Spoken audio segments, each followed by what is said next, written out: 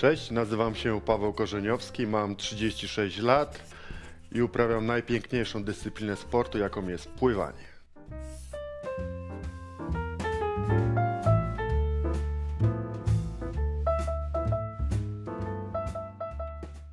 No bardzo miło, że jesteś z nami. Cześć. Cześć. Czy ty naprawdę uprawiasz najpiękniejszą dyscyplinę sportu na świecie? To jest dla mnie bardzo podejrzana teza. Yy, No, pływanie kocham, ale najbardziej lubię pływanie, ponieważ jak jestem oczywiście w formie, ścigać się na zawodach. Jak jestem w formie, bardzo to, bardzo to kocham. No, najgorszy moment to jest taki, jak no już teraz tyle nie pływam, ale jak pływałem po 8 km i musiałem wstawać o 5.20 rano, no to nie było tak przyjemnie. I właśnie od razu muszę z tobą e, skonfrontować pewną anegdotę na twój temat. Czy ona jest prawdziwa?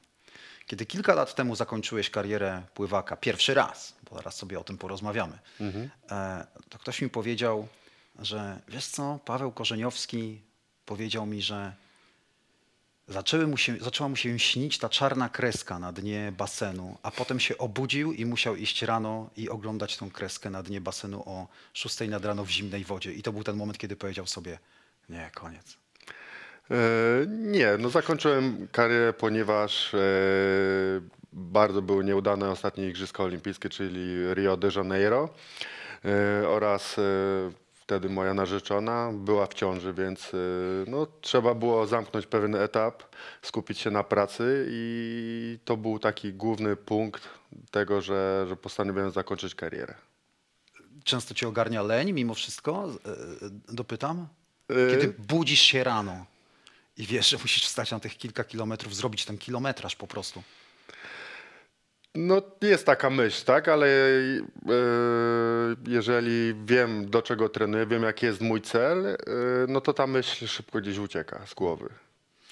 Psychika pływaka to jest dla mnie coś fascynującego. Ja cię zapytam trochę tak jak Murakami, który napisał książkę. Więc parafrazując, o czym myślisz, kiedy myślisz o pływaniu? O czym myślę? Trenując, e, to skupiam się przede wszystkim na technice. Skupiam się na tym, jak jest już jakieś główne zadanie, w jakim tempie płynę, czy muszę przyspieszyć, czy muszę zwolnić, e, dobre nawroty zrobić, e, ale też czasami sobie śpiewam, też usłyszę jakąś piosenkę rano i po prostu wałkuję kilka tych słów przez cały trening. Czasami też się tak zdarza.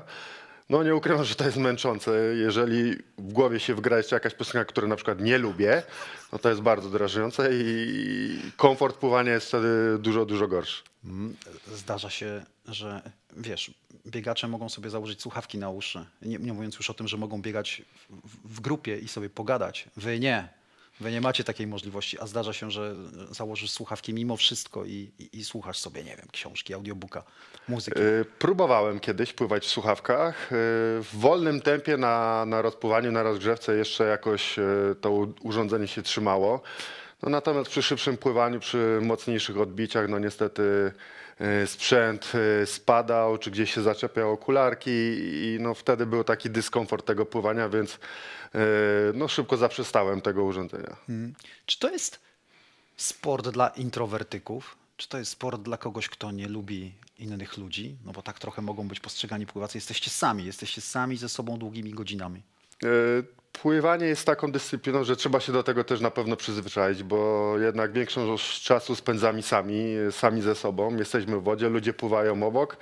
Możemy tylko porozmawiać ewentualnie, jak jest jakaś e, krótka przerwa, czyli nie wiem, zakładam, mamy zadanie e, trzy razy tysiąc kraulem, po tym tysiącu mamy minutę przerwy, więc wtedy wymieniamy się, rozmawiamy mówimy sobie kilka rzeczy, płyniemy znowu tysiąc i po tym tysiącu znowu kontynuujemy tak jakby tą naszą rozmowę. Yy, No więc no, kwestia też przyzwyczajenia się i, i myślę, że każdy, jeżeli będzie miał, yy, będzie przyzwyczajony do tego, że, że po prostu nie musi rozmawiać, no to jest kwestia też takiego odizolowania się. Jesteś zadaniowcem? Bardziej lubisz te treningi, gdzie masz do zrobienia pewnego rodzaju, no nie wiem, interwały właśnie, niż taka ty- ty- tych żmudnych 5 czy nawet 8 kilometrów, jak mówisz, do przepłynięcia za jednym zamachem? E, Znaczy to jednak każdy trening składa się na pewno z jakichś interwałów czy pływaniu w jednym tempie. E, Zawsze na początku jest rozgrzewka, później na przykład takie zadanie, nie wiem, 4 razy 1000. Yy, No i później kolejna część, czyli jakieś nogi, jak, jakieś zakończenie tego dystansu. No i to jest takie no, bardzo specyficzne, jeżeli chodzi o pływanie. Co cię pociągało w tym, żeby zostać pływakiem? Yy, Co mnie pociągało? No na pewno zawsze chciałem grać w piłkę, jak byłem mały i, i tutaj moja mama pływała, moja babcia była I dlatego gimnastyczką. wskoczyłeś do basenu. To logiczne. E, Miałem wadę postawy, krzywy kręgosłup i, i to też w niejaki sposób zmusiło mnie do tego, żebym zaczął pływać, a że e, bardzo mi się to spodobało, aczkolwiek na początku było bardzo trudno, ponieważ e, no nie byłem najlepszy, byłem mocnym średniakiem, większość osób pływała szybciej ode mnie. I no, był taki moment, że nawet w szóstej klasie chciałem, rodzice mi powiedzieli, że chciałem zrezygnować z pływania. No i tak powiedziałem sobie, dobra, jeszcze raz spróbuję. Jak nie zaskoczy, to zmieniam dyscyplinę sportu, nie wiem, na przykład na siatkówkę. E, No i to był taki okres, gdzie urosłem 14 centymetrów w wakacje. Bardzo, bardzo dużo. Miałem problemy z kolanami, ale wtedy e, parametry moje w wodzie się znacznie zmieniły i ta siła pociągnięcia też była inna i jakoś nagle zaczęło to iść mocno do przodu. Co jest najważniejsze? Wielkie dłonie, wielkie stopy. Mówi się, że Michael Phelps miał tak, jest, jest zbudowany idealnie jak na. Tak, Phelps. Phelps e, miał fenomen, ponieważ miał idealny przeprosty, e, długie ręce, e, krótszy, krótsze nogi, dłuższy tułów. No i na pewno parametry wydolnościowe, które ma jeszcze większe płuca ode mnie, z tego co wiem, to ma dwa dnia- 12 litrów, ja mam 11, więc no te parametry, no był idealny, stworzony do pływania i, i dlatego zdobył tyle medali, ile zdobył. Ty masz duże graby i duże stopy? Y, No stopy mógłbym mieć większe, mam 45-46, na przykład Ian Thor ma 51, więc to, to jest taka mała płetwa, no to już na pewno ma ogromne znaczenie przy pływaniu. Okej. Czy trzeba mieć generalnie, czy uważasz, że żeby zostać zawodowym pływakiem, trzeba mieć psychikę z żelbetu? Czy tam trafiają na, na końcu, kiedy już patrzysz na swoich konkurentów na pływalni, to tam są jacyś ludzie, y, którym można cokolwiek zarzucić pod, pod względem właśnie takiego psychiki, mentalnie? No mentalnie trzeba być na pewno bardzo mocnym y, zawodnikiem, y, nie wymiękać, y, no przede wszystkim na treningach. Jeżeli zrobimy coś dobrze na treningu, no później efekt jeszcze jest tego, że trzeba to przenieść na zawody. Jeżeli w kolorumie widzimy tych najlepszych zawodników i się ich boimy i mamy już w głowie gdzieś ten zalążek, że a co się stanie jak przegram, no to już jest zła oznaka, bo już dajemy sobie tą pierwszą myśl, że możemy przegrać. Jednak y, no, trzeba być mocnym mentalnie, twardym. y, y, No i przede wszystkim ćwiczyć to na treningu, czyli dać sobie bardzo wysoko prze- poprzeczkę, czyli na przykład pływamy zadania, nie wiem, 10 razy 400 kraulem, to te reżimy treningowe, ten czas coraz szybciej pływa na tym treningu. No i później kwestia tego przeniesienia na zawody. Mm, Pamiętasz swoje starty olimpijskie, bo to czego ci brakuje, to jest właśnie Tak medal olimpijski. E, Raz było czwarte miejsce, potem troszkę gorzej, no mniejsza. Szóste, siódme. No, powiedziałem mniejsza.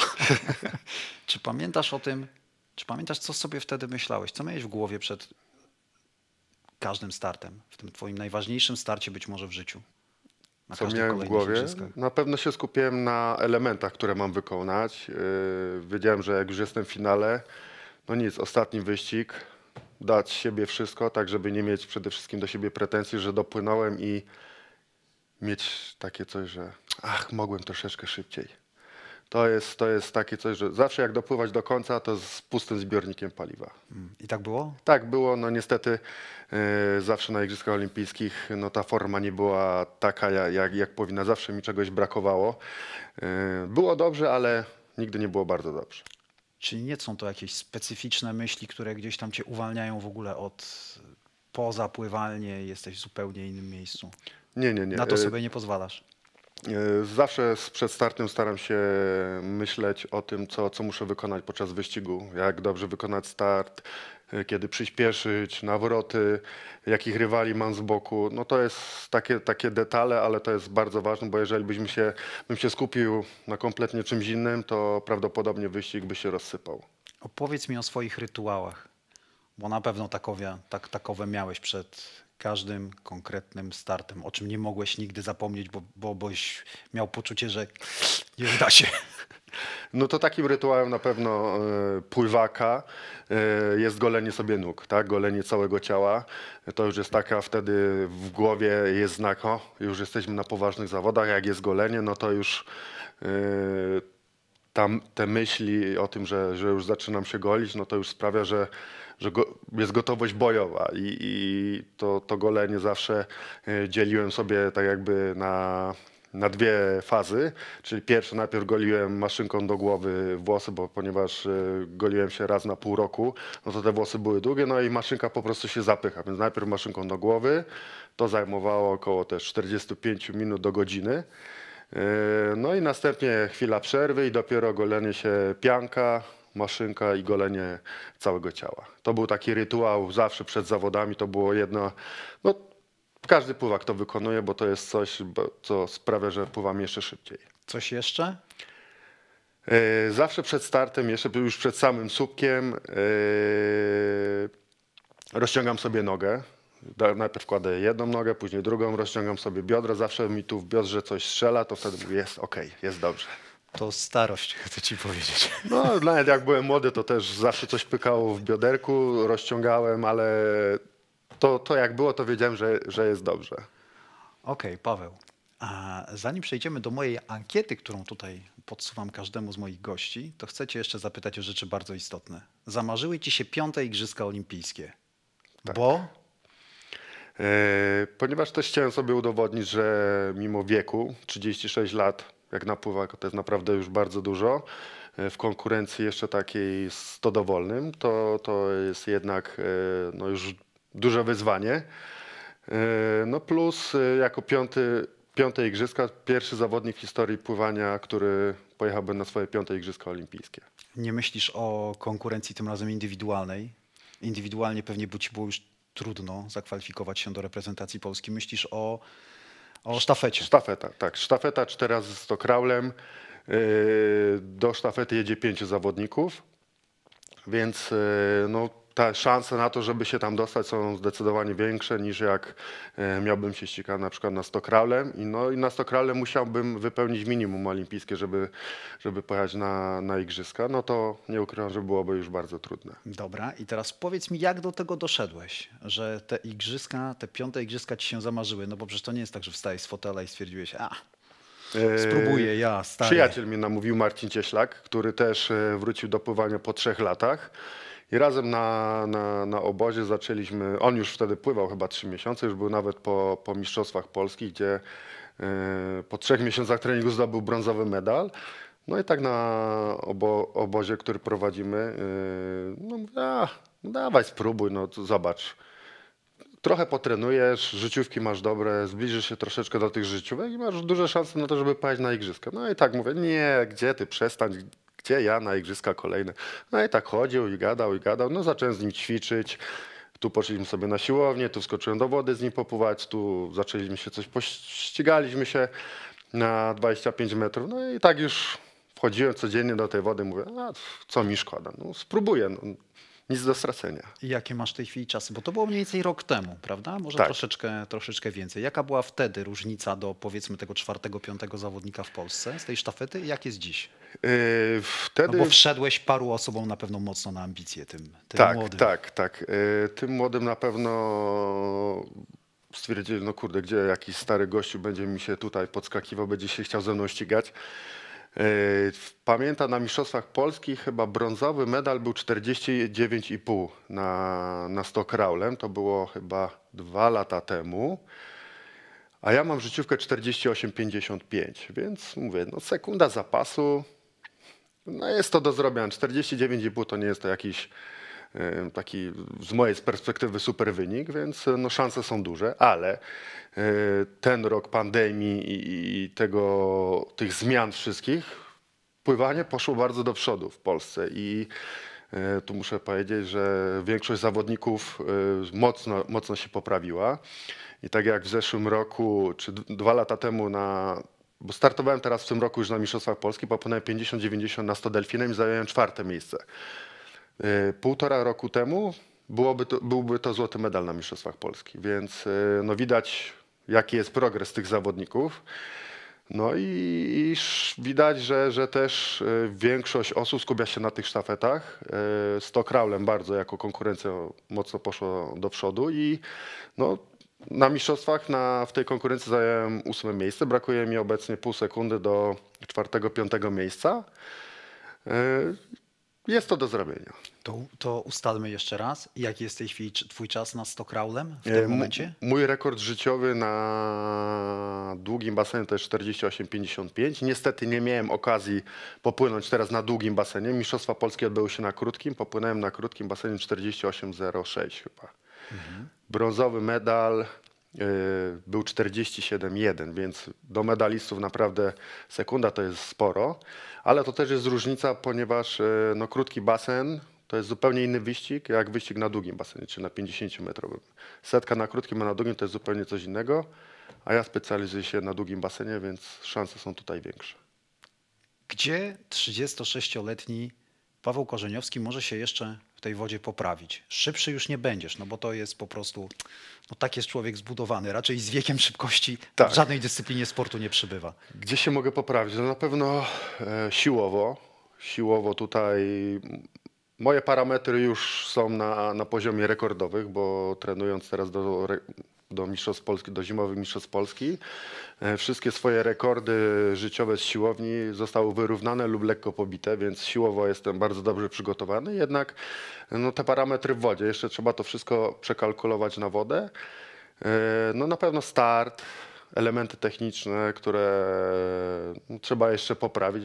Jednak miałem 3 lata przerwy i gdzieś to się tam w głowie troszeczkę pozmieniało, gdzieś tam się trochę poza, zapominało tych rzeczy. Yy, Ale no te, te elementy techniczne i, i ta druga część dystansu, ja zawsze byłem znany z wytrzymałości i z, te, z tego finiszu z ostatnich 25 metrów. Tam byłem bardzo mocny. Yy, Więc no ten element na pewno ostatnie 25 metrów jeszcze jest mocno do poprawy. Wyjaśnij nam wszystkim, na czym polega wytrzymałość w pływaniu, bo y, na przykład lekkoatleci, 400-metrowcy y, mówią, że na tych ostatnich metrach ci, którzy wydaje się, że finiszują najszybciej, mijają rywali, to oni tak naprawdę najmniej zwalniają w stosunku do Tak. tych, którzy tracą najwięcej. Jak jest w przypadku pływania? E, W pływaniu jest tak samo. No staram się utrzymać e, drugą część dystansu, czyli ja, ja mam, mam problem taki, że wolno zaczynałem wyścig, ale bardzo dobrze płynąłem drugą część dystansu, więc ja na tej pierwszej części troszeczkę traciłem, a na drugiej mocno zyskiwałem. Nawet na Mistrzostwach Świata w Kazaniu w 2015 roku e, w półfinale na Stokralem miałem najlepszy wynik na drugie 50. Czyli popłynąłem lepiej niż e, e, tam zwycięzca na Stokralem, tylko że na tej pierwszej 50, 50 wkładali mi po około półtorej sekundy, więc drugą miałem szybszą, ale jednak no, trzeba też zdecydowanie szybciej zacząć. Wygląda na to, że nie, nie lubisz wyjść ze swojej strefy komfortu, skoro tak się oszczędzasz. E, tak, znaczy ja mam ten problem, e, całe życie pływałem 200 delfinem, 400 zmiennym, 400 kraulem, 1500 kraulem, więc e, gdzieś ta cecha taka sprinterska też u mnie nie była tak mocno pokazana. Ja skupiłem się raczej na, na drugiej części dystansu i ta prędkość e, no, nie była taka, ja- jak powinna być, więc e, no, też nie jestem takim rasowym sprinterem. Też na przykład 50 kraulem dla mnie to, to jest trudny dystans, ponieważ mam bardzo dużo siły, mam bardzo dobrą dynamikę, ale jakoś to po prostu nie idzie, nie, nie, nie łapie tej wody, no to też jest taka specyfika, że 50 kraulem to jest chyba jedyny dystans, którego tak nie, naprawdę nie potrafię popłynąć. Teraz zapytam cię trochę, e, no trochę cię namówię może do kontrowersyjnej wypowiedzi, ale czy nie sądzisz, czy nie masz poczucia, że skoro stary mistrz, ale jednak z, z naciskiem na stary, Paweł Korzeniowski jest tak blisko tego, żeby zakwalifikować się do sztafety reprezentacji Polski na Igrzyska Olimpijskie, najważniejszą imprezę czterolecia, czy teraz można powiedzieć pięciolecia, to jednak źle świadczy o naszym, o naszym pływaniu, o tych, o tych młodych ludziach? E, No tak, e, no na pewno pływanie 2-3 lata temu e, troszeczkę tąpnęło. Nie, już nie, nie, nie zdobywaliśmy medali na Mistrzostwach Świata czy Mistrzostwach Europy. Też Mistrzostwa Europy Juniorów też Polacy przyjeżdżali pierwszy raz chyba od 15 czy 20 lat bez medalu. Więc widać, że to, to pływanie gdzieś poszło innym torem. E, Ale teraz na szczęście po, po tych zimowych mistrzostwach Polski e, widać, że jest progres, że ci zawodnicy mo- mocno poszli do przodu. Oczywiście dla mnie to, to jest gorzej, bo no, zdecydowanie teraz będzie mi trudniej osiągnąć ten cel. Ale no jeżeli już powiedziałem, że, że trenuję i będę próbował, no to nie mogę się wycofać. Czy jest w ogóle możliwe? Czy gdzieś zakładacie? Ja wiem, że to sport, więc powiesz mi, że jest możliwe, ale tak połóż rękę na sercu i powiedz mi, czy jest w ogóle taka choćby minimalna szansa, żebyś z tych piątych Igrzysk Olimpijskich w tej sztafecie przywiózł medal? Nie. Nie ma szans. To jest naprawdę już taki poziom, że no, nie, nie, nie, ma takiej możliwości. Ewentualnie może gdyby mi się udało dostać do tej sztafety, był jako ten piąty zawodnik, czwórka popłynęłaby mega, mega kosmicznie, yy, no to być może, ale no szansa na medal olimpijski w sztafecie 4 razy 100 kraule, mając Francuzów, Rosjan, Amerykan, Amerykanów, Brazylijczycy, yy, pff, mega ciężka rzecz do zrobienia. Australijczycy. Australia. No tak, jest, jest, jest tych Chińczycy, wiadomo, na Igrzyskach Olimpijskich zawsze pływają szybko. Mega, mega trudna rzecz. Dotknęliśmy zupełnie niechcący bardzo ciekawego tematu, który też chciałbym poruszyć, zanim namówię cię na wspominki. Czy dzisiaj paszporty biologiczne załatwiają wszystko? Czy, czy dzisiaj pływanie jest wolne od, y, od dopingu? No bo jak to w sporcie wytrzymałościowym w dużej mierze, no siłą rzeczy, y, siłą rzeczy wskazujemy to pływanie i czasem zdarzają się historie, tak jak ostatnio odebrany medal Australijczykom za Igrzyska Olimpijskie już za kilka, e, już kilka lat wcześniej, bo e, Brenton Rickard został złapany na dopingu, już nie mówiąc o Chińczyku, chyba tym najsłynniejszym Sun Chińczyku. Sun Yangu, e, który, z którym cały czas są, są problemy. Jak jest dziś z pływaniem? Są pas, paszporty biologiczne, sam mam taki paszport, też wielokrotnie brano mi krew przed samymi zawodami. Yy, Choćby to, że Rosjanie nie mogą startować yy, w ogóle teraz w przeciągu dwóch lat na Igrzyskach Olimpijskich, no to świadczy o tym, że no ten doping w sporcie jest i czy się go uda w 100% tak wyplewić, żeby, żeby, żeby go nie było, no to raczej, raczej mi się wydaje, że jednak gdzieś ci zawodnicy gdzieś tam próbują e, tych poprawić się, tak, czyli osiągnąć, poprawić chociaż o ten 1%, więc e, no ten doping był i będzie. No, najlepiej jakby, jakby go nie było, no moim zdaniem jest to nie do zrobienia. Mikrodoping to jest, to jest ponoć plaga, to, to, to, to, to, to mikrodawkowanie tego, tego, tak, też tego dopingu. o tym. E, To Dawko- zdaje się, To jest chyba tam dawkowanie się testosteronem, e, coś takiego, że po prostu daje się taką minimalną dawkę na sen, na wieczór i że rano po... testosteron jest troszeczkę podniesiony, ale nie tak, że jest dozwolony, jeżeli byśmy zrobili test, to on jest na tym parametrze dozwolonym już. to chyba Adam Peaty, bardzo znany brytyjski pływak Mistrz stylu klasycznym, mistrz olimpijski, powiedział, że Międzynarodowa Federacja Pływania nie robi wystarczająco dużo, że, że jesteście cały czas bardzo daleko z tyłu za, za tymi być może federacjami i tymi dyscyplinami sportu, które faktycznie z dopingiem chcą walczyć.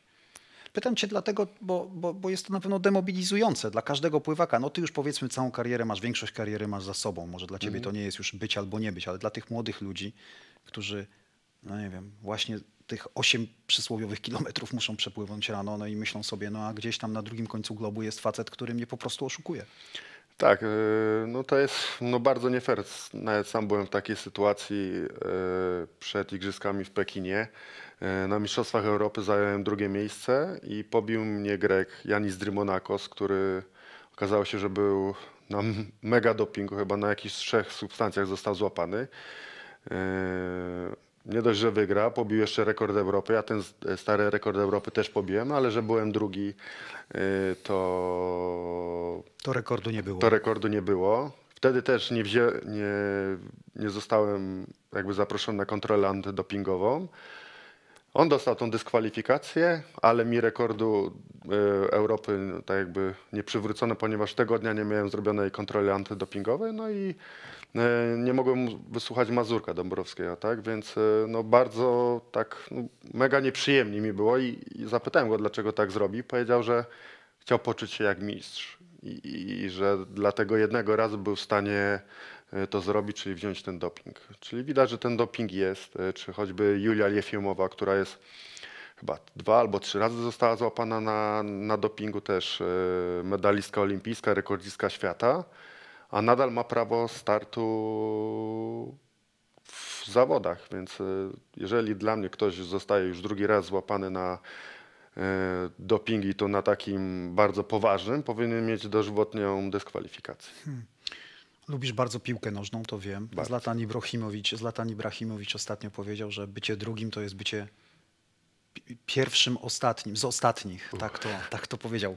A i boli, tak mi to przyszło do głowy kontekście tego Greka, który chciał się poczuć mistrzem.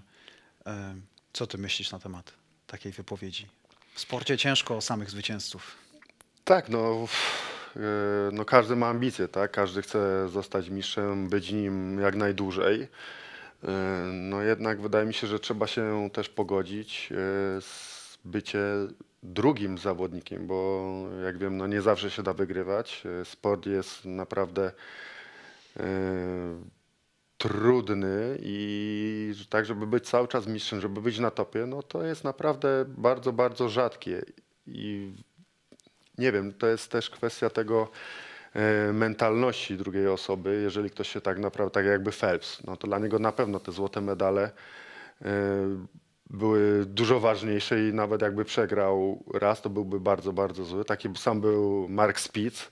Też od małego ojciec mu wpajał do głowy, że miejsce drugie jest dla słabych, że tylko złoto się liczy. Yy, Też miałem przez pewien czas takie podejście, że tylko złoto, tylko złoto. Jednak no, wiedziałem, że no, jestem coraz starszym zawodnikiem i, i już nie będzie tak łatwo ścigać się z młodymi zawodnikami, którzy e, chcą bić mistrza. E, no to, to, to nie było łatwe, ale pogodziłem się z tym i, i później srebrny, brązowy medal sprawiały mi dużo radości. To zaraz cię zapytam o te pierwsze razy, kiedy się coś e, wydarzyło. Ale wcześniej jeszcze pozwól, jeszcze jeden wątek chcę poruszyć. Triatlon. Bo to był też, e, to prawdopodobnie sprawiło, że w ogóle znowu chciało ci się chcieć zostać pływakiem, no bo jesteś cały czas w treningu, uprawiasz triatlon od jakiegoś, od jakiegoś czasu. Dlaczego? Brakowało ci rywalizacji? Yy, Brakowało mi rywalizacji, plus yy, chciałem zadbać o swoje zdrowie. Jak wiemy, sportowcy, którzy kończą karierę, no przeważnie tyją około 20-30 kg. Yy, Organizm jest przyzwyczajony tak do jedzenia wielkiej ilości. Zwłaszcza wy, pływacy. Ile, Tak, ile tak. kiedyś Po Phelps przyznał? 8 tysięcy, 10 tysięcy kalorii. Ja nawet chyba przeczytałem 12 tysięcy kalorii dziennie. To już U, musiał być mocno w treningu. jest naprawdę, I to dużo jest- śmieciowego jedzenia. Phelpsa. No to jest. No, no, pływak potrafi zjeść po takim e, jednym treningu. No, no naprawdę to jest pływanie, coś, coś ma takiego, nie wiem, jak do innych dyscyplin, bo chyba tego tak po, po rowerze, na przykład po dwugodzinnej jeździe na rowerze, nie miałem takiego ssania jak po dwóch godzinach pływania. E, Potrafiłem naprawdę zjeść ogromne ilości jedzenia. To jest jedyny plus spływania, naprawdę, że można Tak. bezkarnie jeść. Można jeść, jeść, jeść i, i wszystko wypalaliśmy w wodzie.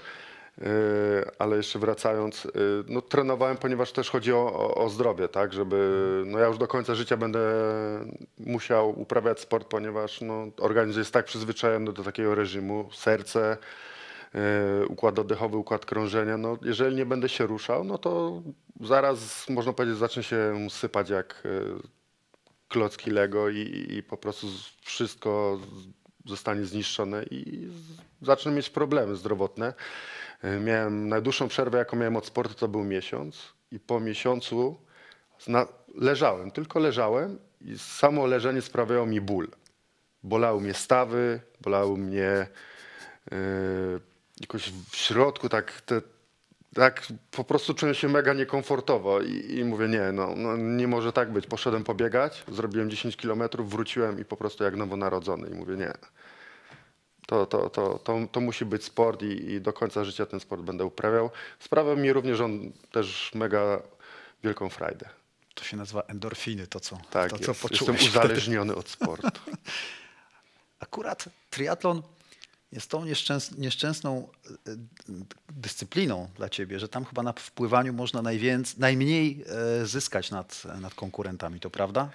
Tak, no moim zdaniem zawsze mówiłem, że kto, kto wymyślił triatlon nie był dobrym pływakiem. Yy, No jednak chyba takie najlepsze połączenie jest tak, żeby wyrównać yy, pływanie do biegania i do, do roweru. Yy, To jest konkurencja olimpijska, czyli tam mam 1500 yy, pływania, 40 rower, dycha biegu. No to 1500 pływania, no to załóżmy, niech będzie to 20, spokojne 20 minut. Rower to jest koło godzinki, no i bieganie tej dychy to, to tak 45 minut, więc widać jaka jest różnica. No, pływanie 20 minut tylko. Moim zdaniem powinno być tak z 3 km takie opływanie na dystansie olimpijskim. O, I wtedy, wtedy mógłbym się e, mierzyć z tymi najlepszymi. No, no ale no, niestety pływanie jest tak e, może też trudną i specyficzną dyscypliną, że no, tu chodzi też o zdrowie innych zawodników, bo jednak no, no, pływanie, no tutaj sprzęt technologiczny, no to tak, ubierzemy piankę, ale tu raczej e, nic innego nam nie pozwoli szybciej pływać. No i są fale, jest, są wody otwarte, jest ta pralka tak zwana, czyli wszyscy płyną obok siebie, uderzają się łokciami.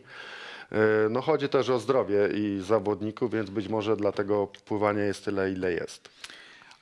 Wchodzicie do wody e, najczęściej grupami, nie wiem jak to się, jak to się Falami. falami tak to się nazywa o fachowo. E, W związku z tym może trudno nawet porównać, ale nie wiem, czy masz w sobie znowu ten gen rywalizacji, który każe ci sprawdzić po każdych zawodach, czy był jakikolwiek Ancymon, który był od ciebie szybszy w wodzie, bo to jest inne pływanie, to jest open water, tak jak powiedziałeś, fale, morze i tak dalej, i tak dalej, jezioro.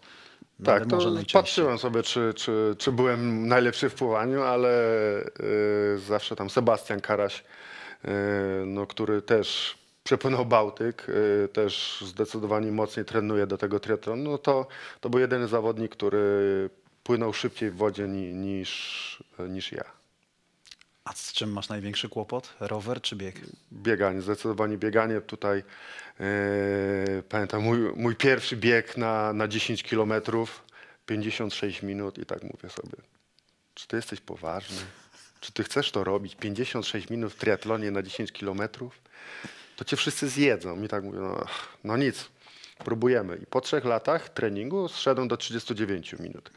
Więc no 39 to już jest taki e, dla amatora bardzo przyzwoity wynik. Czy jesteś tak samo zdyscyplinowany w codziennym życiu, jak w, jak w treningu? Bo bycie pływakiem to jest bycie zdyscyplinowanym człowiekiem. Jeżeli już się za coś wezmę, to tak.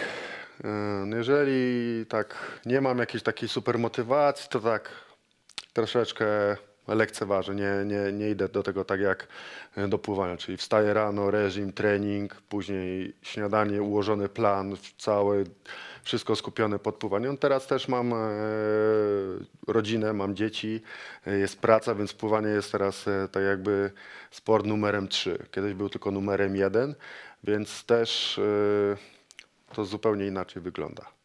Bycie perfekcjonistą w jakimkolwiek, w jakiejkolwiek dziedzinie życia pomaga czy przeszkadza? Yy, pomaga. Pomaga. To zdecydowanie pomaga. Jeżeli zaczynam coś robić, to staram się to robić tak jak yy, czyli chcę zdobyć jak najwięcej.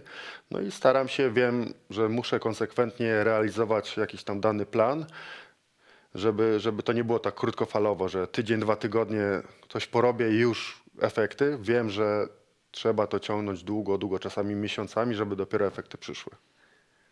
Której swojej cechy tak naprawdę nie lubisz, którą powinieneś sobie wyplenić? Której. Hmm. Dobra, zadam ci najpierw odwrotne pytanie. Czego nie powinieneś w sobie nigdy zmieniać, a ty już się zastanawiaj nad tamtą. Czego w sobie? Tego dążeniu do celu. Tym zawsze jak zaplanowałem sobie, że, że chcę być najlepszy, że chcę wygrać, że chcę się ścigać z najlepszymi, no to jednak y, ta zaciętość, ta chęć zw- zwycięstwa i tego, ten reżim taki, który potrafiłem sobie zrobić, jak najbardziej potrafię to teraz. Widzę, jak mi się przydaje to w życiu, że jestem konsekwentny właśnie w realizacji swoich celów. A czego nie lubisz w sobie? Czego hmm, sobie, no musiałbym tutaj pomyśleć, czego tak naprawdę nie lubię w sobie. Mm. Hmm.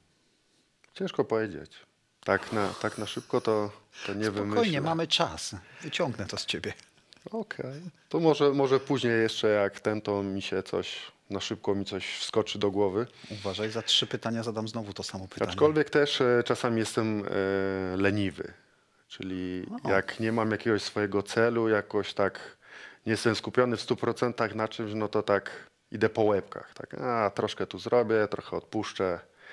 Więc to jest też takie, czasami lenistwo ze mną wygrywa. W czym jesteś tak naprawdę zły? Do czego masz dwie lewe ręce? Czego się w ogóle nie powinieneś Ojej. podejmować? To jest rysowanie, plastyka, kaleka. Naprawdę, jak miałbym coś narysować, albo no, najlepszym przykładem jest taki, jak rodzinie gramy tam w kalambury, trzeba coś narysować. Wszyscy po prostu wokoło się śmieją. Wszyscy. No ja nie, nie, potrafię rysować. To jest, jeżeli chodzi o elementy plastyka, naprawdę dramat. Gorszych nie ma. Czego mógłbyś się nauczyć od swoich dzieci? Czego mógłbym się nauczyć? Yy, No na pewno wziąć z nich tą energię, tą radość yy, zbawienia się, z, z, spojrzenia na świat, na, nowe rzeczy, jak coś widzą. Wid- Widzę w nich tyle radości, yy, że, że nie przejmują się, że nie mają takich problemów, że no żyją tak jakby w swoim życiu, że zabawki, że, że potrafią no, czerpać tyle radości z takich prostych rzeczy. Na przykład y, mój najmłodszy syn y, Mikołaj. Wystarczy dać mu butelkę, prostą bu butelkę z wodą, już mega radość, więc też, y, że proste rzeczy też dają naprawdę dużo radości i doceniać się to, co ma. Powiedz mi, jaka jest największa cena, jaką zapłaciłeś za to, że zostałeś zawodowym pływakiem? Y, No to, że jestem samolubem. Też często mi to żona mówi, że y, patrzę tylko na siebie, że tylko na siebie zwracam uwagę. Y, No ale no tak, tak, tak już mam, że 20 lat byłem, skupiałem się tylko na sobie i że na przykład była jakaś sytuacja na zawodach, że ktoś mnie o coś prosił, ja szedłem na start i po prostu powiedziałem sorry, ale nie mogę ci teraz pomóc. Y, Wiedziałem, co, co ja mam zrobić, więc taki samolubem, że, że często myślę tylko o sobie, a, a nie o innych. Staram się to zmieniać. Nie jest to łatwe, ale wydaje mi się, że już jest coraz lepiej. Ja myślę, że to jest immanentna cecha każdego zawodowego sportowca na wysokim poziomie. No, po prostu bez tego nie byłoby gdzieś na końcu wyniku. Tak, no potrafię jeszcze tak zrobić, że tak jakby zamknąć się i nie dopuszcząc do siebie innych myśli. Czyli jak ktoś mi coś mówi, to, to mam taką blokadę na głowie i to, to było coś takiego jak na zawodach. E, Mam tutaj taki przykład. e, Nikolaj Skwarcow, mój rywal.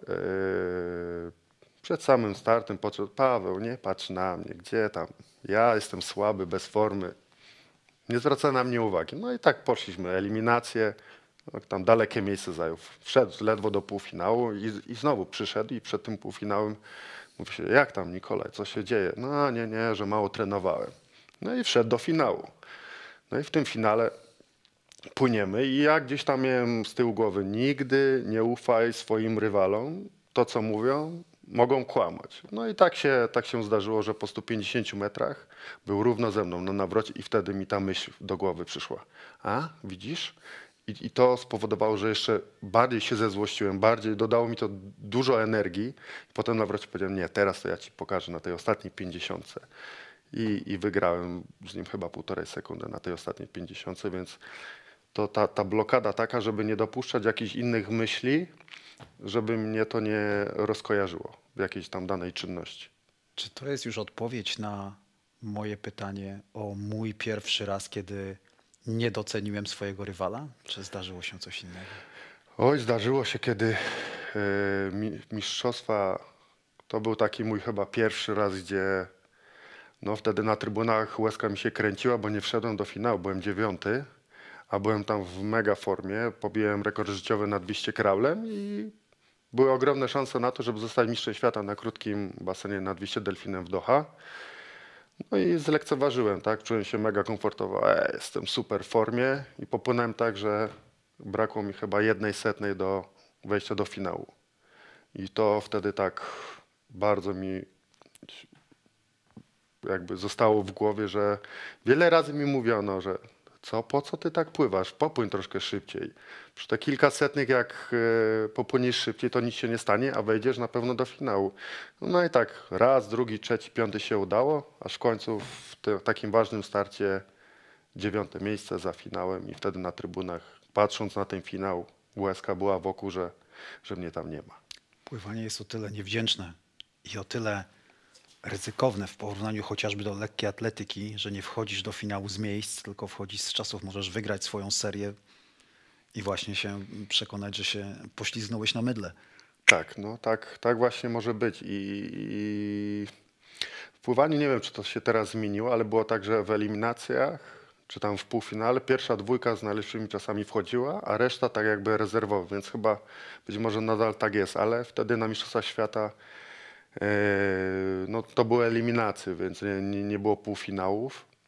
Mm, No i dziewiąte miejsce za finałem klapa. Mój pierwszy raz, kiedy z nerwów, z emocji nie zmrużyłem oka przed ważnym startem. Skoro już jesteśmy przy tych emocjach. No to na pewno pamiętam Igrzyska Olimpijskie Londyn. Bardzo, dobre, bardzo dobry półfinał, bardzo dobry finish z rezerwą. Czułem się mega, mega mocno. Pamiętam chyba do trzeciej nad ranem nie mogłem spać. Następnego dnia ten finał i czułem, czułem to, że zarwałem noc, że, że te myśli w głowie po prostu dygotały. Jak medal, tu już sobie wyobrażałem, jak to wszystko będzie wyglądało. Wchodzę na podium i to były tak duże emocje, że, że nie, nie, nie potrafiłem tego, tego opanować. I pamiętam do trzeciej nie mogłem zasnąć, po prostu cały czas chodziłem i kręciłem się. Nic, nic nie mogło spowodować to, że, że, że chciałem o tym zapomnieć. Pierwszy raz, kiedy wygrałem wyścig, którego nie miałem prawa wygrać. No, był taki wyścig. Pamiętam e, Mistrzostwa Europy w Helsinkach 2006 rok. Wydaje mi się, rok wcześniej prawie ustanowiłem rekord świata, więc miałem taką e, przewagę psychiczną nad swoimi konkurentami, bo następny tam był chyba 2,5-3 sekundy za mną. E, I chyba tylko i wyłącznie dlatego wygrałem, że, że myśleli, że, że jestem poza zasięgiem. Wtedy popłynąłem chyba dwie sekundy od swojego rekordu życiowego. I wtedy dopłynąłem i mówię, jak? To jest taki średni wynik, a ja wygrałem. I mówię, uff, ale miałem farta. Była, była taka sytuacja. A pierwszy raz, kiedy przegrałeś wyścig, którego nie miałeś prawa przegrać. Też był taki wyścig. Pamiętam wtedy wyścig na 200 delfinem z Laszloczechem, Mistrzostwa Europy w Debreczynie, 2007 rok. Zwycięstwo na 400 kraulem z Polem Bidermanem o 300 sekundy. I wtedy też znowu pewnie się poczułem. Mówię, ach, kolejne złoto już jest kwestią czasu. No i przegrałem o kolejne 300, więc tak jakby wszystko zostało. Tu wygrałem 300, tu przegrałem 300. Gdybym popłynął troszeczkę mocniej, inaczej rozpoczął wyścig, powinno być złoto. No niestety zlekceważyłem przeciwnika i, i, i zająłem drugie. Laszlo Czech, faworyt gospodarzy. Słyszysz, słyszysz doping na, na trybunach, kiedy już, kiedy już płyniesz? Czy wiesz, że on jest właśnie dla ciebie? Yy, Słyszę jeden wielki hałas. Czy on jest akurat dla mnie? No, myślę, że w pewnym stopniu też. Tak? Słyszę, że im bliżej finiszu, tym kibice na trybunach krzyczą coraz, coraz głośniej. Yy, Niestety w wodzie mamy czepek, woda się naleje do ucha, to niestety nie słychać yy, takich krzyków wyraźnych, tylko jeden ogromny hałas. Na ile jesteś w stanie w ogóle kontrolować to, co się dzieje na... Wiadomo, to też zależy od tego, który masz tor, czy jesteś na tych środkowych, ale na ile jesteś w stanie rzeczywiście skupić się na tym, czy w ogóle się nie skupiasz? Czy to jest po prostu już na ostatnia pięćdziesiątka, jeżeli już jest długi basen, to, to jest pójście do, do, do, wypru, do wyprucia, do Tak, końca. to już jest takie wyprucie, światełko w tunelu. Yy, No już wtedy, wtedy wiem, że, że no, trzeba popłynąć na maksa, że już zostało, nie wiem, tam ostatnie 25 metrów. Wtedy trzeba przycisnąć już. Nic innego nie pozostało, jak walczyć do samego końca i, i, próbować no, trzymać w miarę możliwości technikę, bo zawsze na tym elemencie się też skupiam, bo jednak ostatnie 20 metrów, jeżeli puścimy już całkowicie technikę, to też będziemy płynąć wolniej, więc staram się tam e, skupiać, aczkolwiek czasami w ogóle nie myślę i po prostu mucka do ściany, żeby zobaczyć, który jestem. Ile masz planów przy tych dłuższych dystansach, kiedy pływałeś głównie 200? No tam jest, jest no jednak taktyka odgrywa dużą rolę. Ile masz planów? Masz plan A, masz plan B, masz plan C? Wiesz na kim się skupić, kogo się trzymać? Y, Tak, zawsze sobie patrzyłem, y, jakich zawodników mam obok, gdzie jest mój tak jakby największy rywal, patrząc y, na ranking światowy. Zawsze przyjeżdżałem na zawody, jest ranking i na ten ranking sobie patrzę, gdzie ci zawodnicy są. Jak był Phelps, to nie było takiego planu. Plan A, B i C, D nie działał. Po prostu był, był za szybki. Y, Ale zawsze starałem się wiedzieć, y, gdzie ten mój największy rywal jest i wówczas na nawrocie patrzyłem się na niego, gdzie on jest, jak daleko. Yy, Taka kontrola, czy na przykład na pływaniu na 400 kralem, pamiętam ten wyścig z Polem Bidermanem. Yy, Taktyka była taka, żeby mu się uczepić do połowy ciała, żeby złapać troszeczkę jego falę i trzymać go, i trzymać go, i trzymać go cały czas na tym dystansie i na ostatnie 25 go wyprzedzić. Taki plan też, też się powiódł, ale czasami było tak, że płynąłem 400 kraulem i nagle coś mi się w głowie działo, taki strzał i o Boże, ile ja mam już? Ile ja przepłynąłem? 200 czy 250? I wyścig się rozsypał, bo już nie wiedziałem, kiedy mam przyspieszyć. Już w ogóle myślałem o innych rzeczach, nie skupiałem się na rywalach, tylko o tym, ile basenów mi zostało do końca. I, i, i, i taki wyścig po prostu, raz mi się coś takiego zdarzyło. Yy, Było tak nawet, że chyba po 400 metrach zrobiłem jeszcze koziołek. I mówię, o Jezus, to, to jest jeden z tych wyścigów, które pamiętam, gdzie, gdzie plan A, B, C, D, wszystko legło w gruzach. To mnie nakierowuje na kolejną kwestię, być może nie dotyczącą tego, ale pierwszy raz, kiedy zabrakło mi profesjonalizmu. Pierwszy raz, kiedy profesjonalizmu mi zabrakło. Hmm. Znaczy zawsze starałem się być profesjonalistą i, trenując tak mm, jednak wyczynowo i, i walcząc o na, najwyższe medale, zawsze starałem się iść według tego schematu, który już robiłem, który dawał mi te złote medale. E, No ten profesjonalizm, no to na pewno gdzieś tam w okresie, gdzie, gdzie te treningi można było jeszcze sobie chodzić, no to wychodziłem gdzieś na miasto, tak? Gdzieś tam e, spotkać się ze znajomymi. E, No i widzę, że to czasami nie było dobre, że, że, że wychodziłem, że powinienem odpoczywać, a jednak chciałem wyjść, chciałem się spotkać ze znajomymi. E, No i ten brak profesjonalizmu tam z mojej strony był, że, że zarywałem czasami noce. I to, to było takie no, niefajne z pers- z perspektywy tego, co teraz widzę, jak, co powinienem zrobić z własnego doświadczenia, no to widzę, że, że czasami powinienem sobie odpuścić. Taki wymagający sport, jak, jakim jest pływanie, wyklucza alkohol, czy nie? Yy, Jak wiemy, no, kiedy można, jak najbardziej można się zrelaksować i rzekłbym, że to nawet trzeba dla zdrowia psychicznego. No, ale jeżeli jesteśmy już przed samymi zawodami, niestety zero alkoholu, yy, no trzeba trzymać ten reżim, yy, więc kiedy można, to można się pobawić, ale kiedy trzeba już trenować, to trzeba mieć wszystko pozamykane i skupić się tylko na pływaniu. Dzień, kiedy czułem, że publiczność jest przeciwko mnie. Yy, No to chyba wtedy w Debreczynie na Mistrzostwach Europy, gdzie Laszlo Loczech, gwiazda yy, węgierskiego pływania. No co ni- ni- niestety, yy, może niestety, na szczęście nie, nikt nie buczał na mnie, jak, jak mnie przedstawiano, tylko raczej były oklaski i, i, i ten szacunek. Ale czułem wtedy, że ta trybuna, te kilka tysięcy ludzi było właśnie za, za nim. I to, to tak... Eee, No, zap- zapamiętałem to, bo jednak czułem, czułem tą atmosferę, że wszyscy tam, ten Laszlo Czech, Laszlo Czech, Korzeniowski, ale będzie wyścig. I to, to czułem, że, że, że ludzie nawet jak szedłem na finał, to mnie zaczepiali i mówili, że o, z Laszlo Czechem będzie super wyścig. I, i, i gdzieś to tam chyba mi jednak zostało.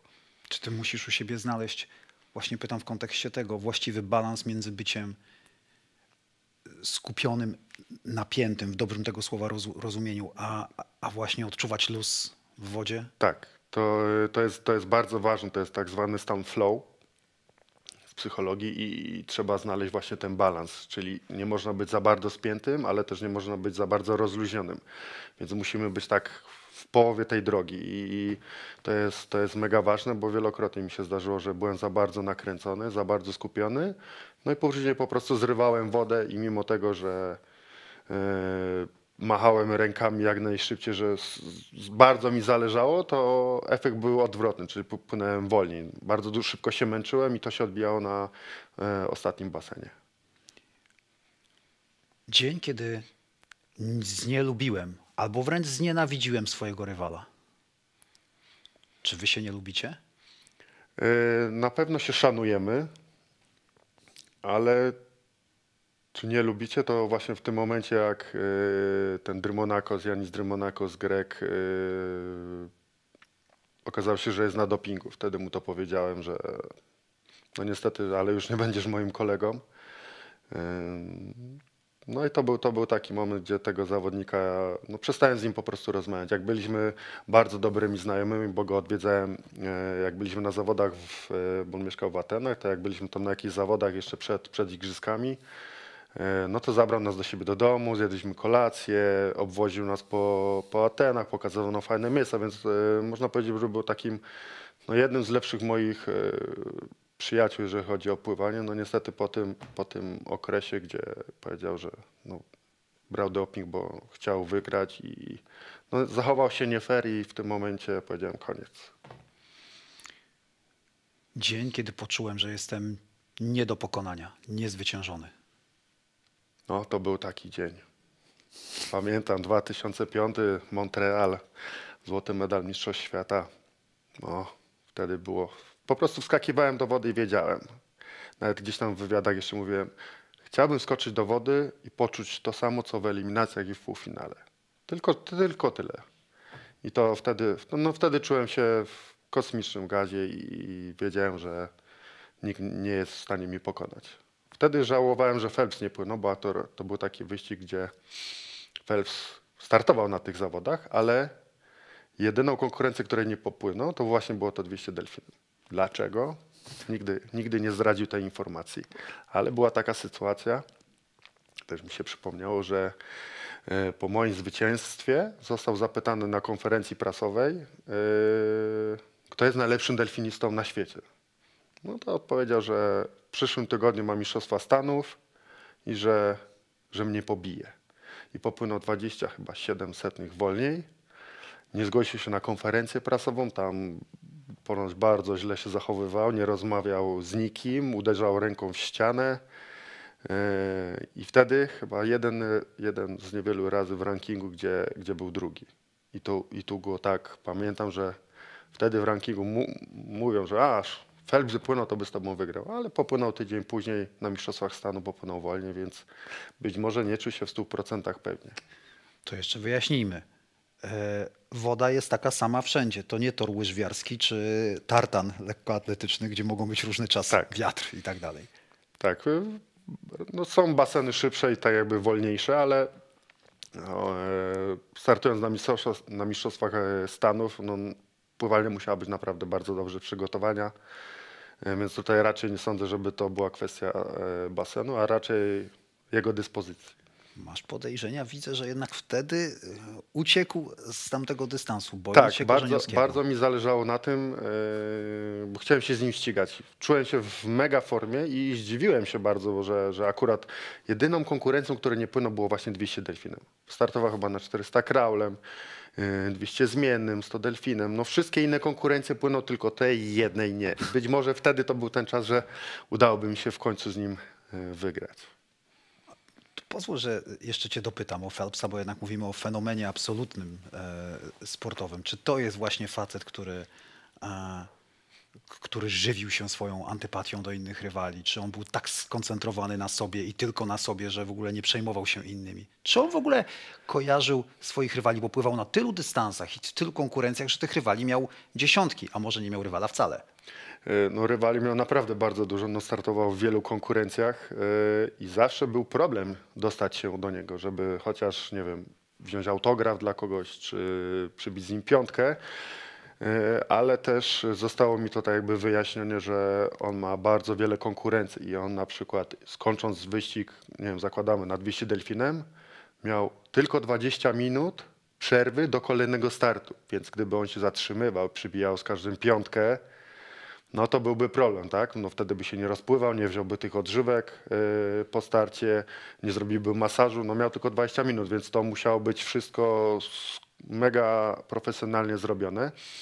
Yy, no i dlatego raczej taki był, że, że był odizolowany, zawsze stał jakiś ochroniarz, nie można było do niego zawsze ochroniarz pokazywał nie. Zawsze był gdzieś odgrodzony, zasłonięty. Yy, I, i no ciężko się było do niego, do niego dostać. Później, później już się to zmieniło po, po igrzyskach yy, w Londynie. Już taki był bardziej, można powiedzieć, dostępny. Ale w Pekinie naprawdę wszystko zaplanowane co do sekundy, gdzie ma przejść, z nikim nie rozmawia. Rozmawialiście kiedyś o swoich e, równoległych karierach, czy, czy aż tak się nie poznaliście? Nie, nie poznaliśmy się. Być może chyba tylko gdzieś z nim rozmawiałem, ale to dosłownie nie wiem, chwilę przed, przed samą dekoracją. Ym, Jestem ciekaw, czy w ogóle mnie teraz kojarzył.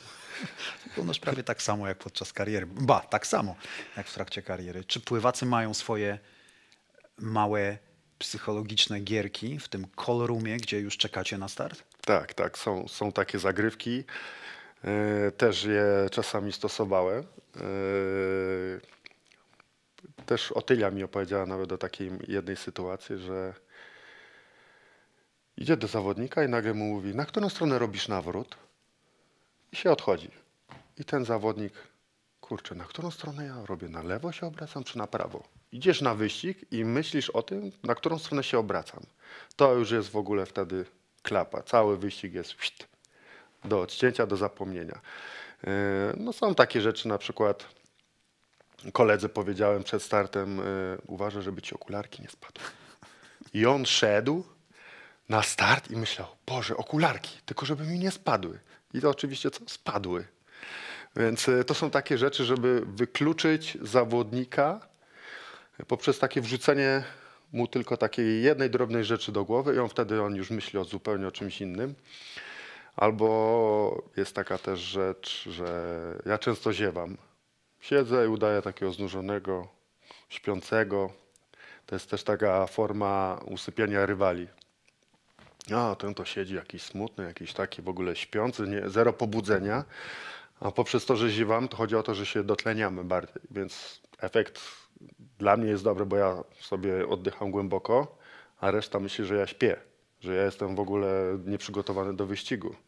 Więc to jest takie cisza przed burzą, takie usypianie czujności rywali. No jest jeszcze kilka innych rzeczy, ale tu nie będę zdradzał, bo jeszcze chciałbym je wykorzystać przed yy, zbliżającymi się kwalifikacjami do igrzysk. Odwrócę to w takim razie. Czy ktoś tobie zrobił taki numer i zapytam cię dzień, pierwszy raz, kiedy to mnie zjadły nerwy na pływalni przed startem? No to tak jak e, mówiłem, że Skworcow e, mnie właśnie zaczepiał e, i wtedy już byłem na to przygotowany, że a nie jestem w formie, Paweł, w ogóle zapomnij o mnie, gdzie, a tam nie trenowałem, chory byłem, takie rzeczy mówię, nie, nie, nie, nie, nie, nie, nie, nie, nie, nie, nie ufaj przeciwnikowi. No i miałem wtedy rację, że, że, że go nie posłuchałem, tak, że jednak wiedziałem, że jest moim największym rywalem, największym konkurentem do złotego medalu. Yy, A czy gdzie mnie nerwy tak zjadły? Na pewno były taki jakiś wyścig. Yy, Hmm. Teraz może tak na szybko sobie nie przypomnę. Gdzieś, gdzie. yy, hmm. Dobre pytanie. No, teraz ciężko mi na nie będzie odpowiedzieć, ale wydaje mi się, że na pewno taka sytuacja była, gdzie, gdzie te nerwy po prostu wzięły górę i, i, trema spowodowała, że podcięło mi skrzydła. Uważaj, teraz będzie Coś poważnego. Dzień, kiedy pierwszy raz skłamałem dziennikarzowi podczas wywiadu. No to na pewno takie, ym, czy skłamałem. No raczej starałem się zawsze mówić prawdę i, i to jak było. W zależności też do jakiego pytania, bo to też e, wszystko zależy jakie było pytanie i niekoniecznie ten dzien- dziennikarz musiał wszystko o mnie wiedzieć. Więc na pewno taka chwila była. E, No i A nie- jakich pytań nie lubiłeś? Yy, No, nie lubiłem pytań na pewno o to, jak mnie atakowano, że jestem imprezowiczem, że staram się, że zamiast trenować, to chodzę po klubach. No wiele, wiele takich sytuacji było i tu może nie kłamałem, ale nie chciałem powiedzieć, bo to było takie rozdmuchanie, szukanie jakiejś dziury, czegoś, jakiejś sensacji. i Powiedziałem, nie, nie, nie, na takie pytanie to ja nie odpowiadam. Dzień, kiedy poczułem pierwszy raz, że jestem popularną osobą. Yy, No to w, pamiętam, yy, yy, miałem, zdawałem egzamin na prawo jazdy i, i pan wiedział, że, że pół roku wcześniej zdobyłem złoty medal na, na Mistrzostwach Świata i no nie i, i miałem wrażenie, że, że jest mi troszeczkę łatwiej zdać ten egzamin, aczkolwiek chyba podszedłem do niego trzeci raz za trzecim razem dopiero udało mi się zdać yy, na prawo jazdy, ale, no ale czułem, czy na przykład gdzieś właśnie wchodziłem, to wpuszczano mnie bez kolejki. O nie, nie, nie, mistrza to wpuszczamy od razu, zapraszamy. Yy, Więc yy, czy, czy gdzieś ludzie pokazywali palcami, no to to jest takie, było mega zaskakujące. Wow, wow, jestem, jestem sławny. Dzień, kiedy poznałem najbardziej szaloną osobę trakcie swojej sportowej kariery. Czy wy pływacy jesteście szaleni? W jakiś sposób na pewno, jeżeli spędzamy tyle godzin w wodzie, nie rozmawiając z nikim, więc coś na pewno mamy w głowie, że, że uprawiamy tą dyscyplinę sportu, że przez tyle godzin potrafimy tak jakby siedzieć cicho i gadać sam ze sobą, więc chyba większość pływaków jest mega szalonych i osób, które po prostu trenują indywidualnie, nie mają z kim porozmawiać i gadają sami ze sobą. To jest chyba coś takiego, że że coś, coś z nami jest nie tak.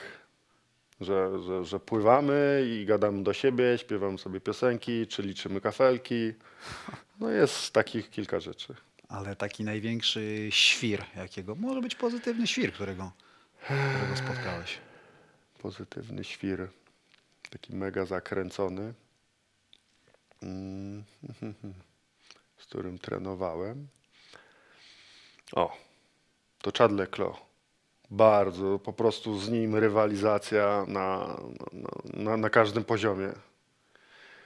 Czy to graliśmy w FIFA, czy to, nie wiem, odbicie od ściany, czy to rzucaliśmy jakąś piłeczką, czy czymś, po prostu wszędzie rywalizacja. I, i w sumie ja też jestem taki, że bardzo lubię rywalizować na, czy to jest sport, czy to jest cokolwiek, gdzie można rywalizować, to ja jestem też bardzo chętny na, na taką rywalizację, ale wtedy Chad Leclerc, pamiętam, jak ja widziałem to spojrzenie, to, aż byłem wow, on jest jeszcze bardziej nakręcony niż ja. I to była chyba taka pierwsza osoba, gdzie po prostu FIFA, jak strzelał gola, to po prostu wyskakiwał z fotela.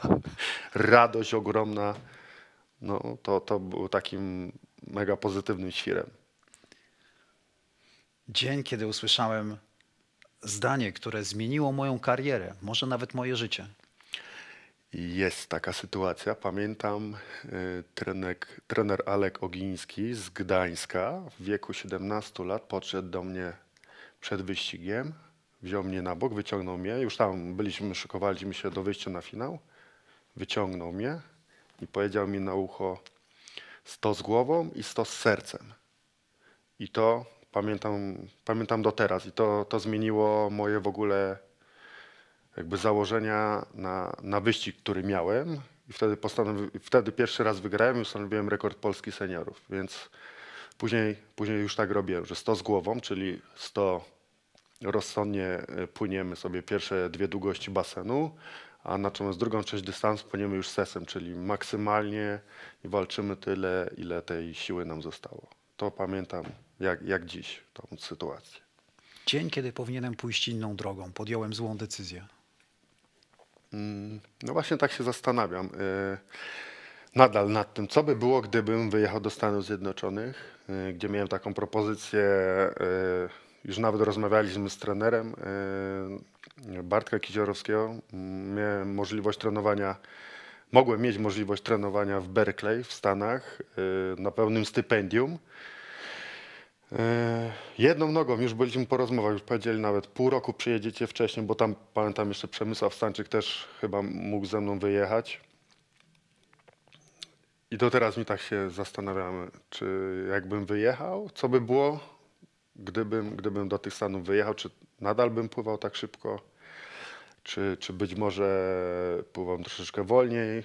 No, cały czas mi to chodzi po głowie i myślę, że, że jeżeli byłaby jeszcze raz taka szansa, to chciałbym spróbować czegoś innego. Aczkolwiek też nie mogę sobie e, powiedzieć, że to była zła decyzja, że zostałem w Polsce. Tak? E, Zdobyłem wtedy później tytuł mistrza świata, mistrza Europy wielokrotnie, e, więc też to było troszeczkę inaczej. Jeszcze mi się przypomniało, że była taka sytuacja, że wtedy jak się wyjeżdżało do Stanów i pieniądze, które się wcześniej zarobiło, to trzeba było jakby oddać, że nie można było mieć stypendium, że to było coś takiego, że jak jedziesz na stypendium do Stanów, no to nie możesz być profesjonalistą, nie możesz zarabiać pieniędzy.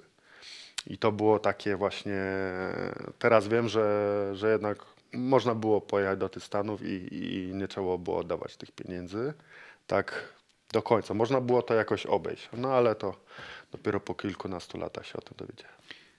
Gdybyś Paweł miał sobie wystawić szkolną ocenę, niech to będzie obecna szkolna ocena, czyli od 1 do 6, za swoją sportową karierę, to jaka by to była ocena? 5 plus.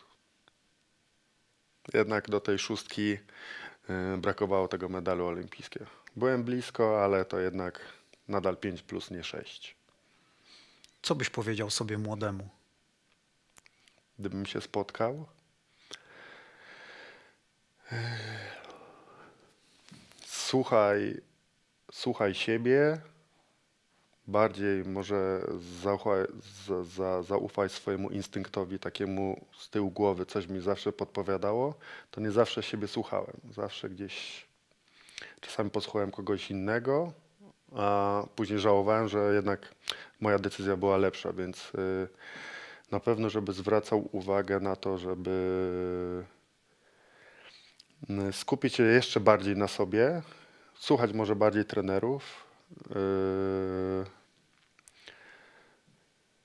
I, I tyle. No to, to było coś, co, co spowodowało i na pewno skupia, skupianiu się na diecie, bo wtedy pamiętam, że dieta to dla mnie nie było czegoś jak dieta. Po prostu jadłem, też jadłem fast foody i na tym poziomie na pewno to miało ogromne znaczenie. I na koniec, dzień, który chciałbym przeżyć na nowo. Y, na nowo, ale w sensie na takim, że choćby Montreal, gdzie zdobyłem złoty medal Mistrzostw Świata. To pamiętam to po prostu jak dziś i, i wow, mega, mega, mega wspominki. Pamiętam jak się obudziłem następnego dnia, ten medal zobaczyłem obok, to nie mogłem po prostu uwierzyć. Mówię, jak? Ja jestem mistrzem świata, miałem 20 lat. Mówię, wow, ten złoty medal jest po prostu. Pamiętam jak mi koledzy w windzie e, zobaczyli, to powiedzieli, bo ja miałem ksyw- ksywkę, mogłem, mam grubas i mówię, grubas. Ale ty jesteś uśmiechnięty, gościu. I że mówisz, że taka energia ode mnie biła, że byłem taki po prostu szczęśliwy, że to było aż mega czuć, więc y, jeżeli chodzi o karierę sportową, to, to na pewno był ten dzień, gdzie, gdzie zdobywałem złoty medal Mistrzostw Świata. Spałeś z tym medalem? No, obok łóżeczka, obok łóżka na szawerce tutaj. Jak się kładłem, to patrzyłem jeszcze na niego, był bardzo blisko mnie. Pozwoliłeś sobie na to, żeby go nosić na szyi następnego dnia? E, Czy nie, to już nie, było nie, za- nie, za nie, nie, dużo? no- nie nosiłem, nie nosiłem, ale co, co przychodziłem, to aż nie, nie mogłem się napatrzeć na niego, bo po prostu nie, niesamowita rzecz. Paweł, to była czysta przyjemność. Jak dla mnie e, już pobiłeś swoją życiówkę tym wywiadem. Serdecznie Dziękuję dziękuję. Ci bardzo. Dziękuję.